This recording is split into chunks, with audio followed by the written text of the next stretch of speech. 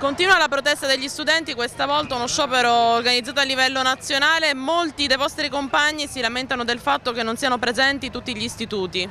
Sì, effettivamente la presenza certe volte cala anche perché comunque alcuni non, non, capiscono e non vengono coinvolti dai motivi di questo sciopero, che in realtà è uno sciopero che non coinvolge solamente noi studenti ma anche i professori e in generale la scuola, sia pubblica che privata.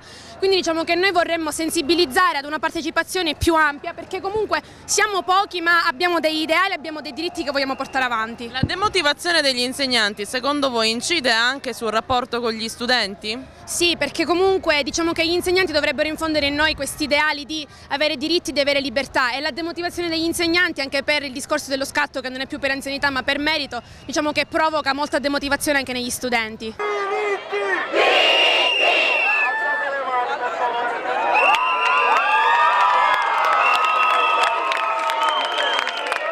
Noi continuiamo a chiedere i nostri diritti, i diritti che vogliono avere tutti gli studenti alla nostra età.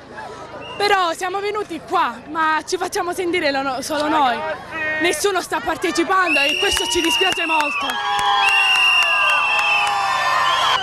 Quali sono gli istituti presenti? Siamo solo tre. Eh, siamo lo scientifico, il chimico e il liceo classico. E un po' di alberghiero, è un po' di alberghiero.